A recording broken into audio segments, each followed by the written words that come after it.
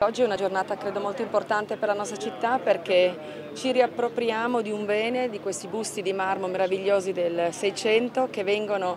restituiti e anche in parte donati alla città, quindi è una restituzione ma anche una donazione, è veramente un bel gesto, eh, erano dei busti che erano stati dimenticati forse e che quindi verranno ricollocati eh, da dove arrivavano, quindi credo che nei prossimi mesi eh, lavoreremo per restituirli, per riposizionarli all'interno eh, della Chiesa dell'Annunziata. Si dava quasi per certo che le opere fossero andate distrutte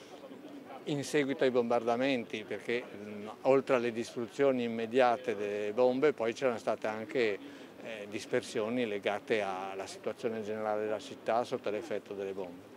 E il merito del ritrovamento, come sapete, di Gabriele Langosco, eh, però come rappresentante del, del Comune per ciò che riguarda il suo patrimonio artistico eh, dato che la chiesa dell'Annunziata è, è una chiesa di proprietà comunale, è un arricchimento per il patrimonio della chiesa stessa.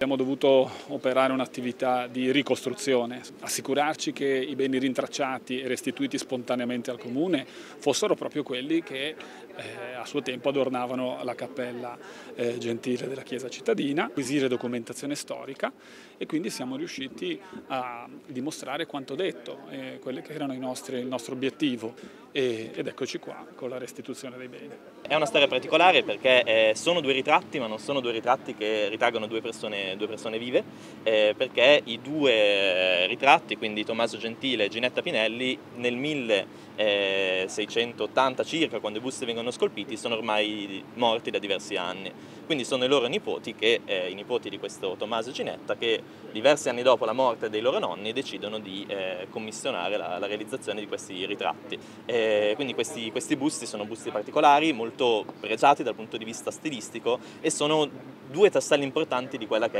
l'arte barocca a Genova, quindi la grande arte della, della, del Seicento genovese. Questo scultore è Daniele Solaro, uno dei, dei protagonisti diciamo, delle vicende del secondo Seicento genovese.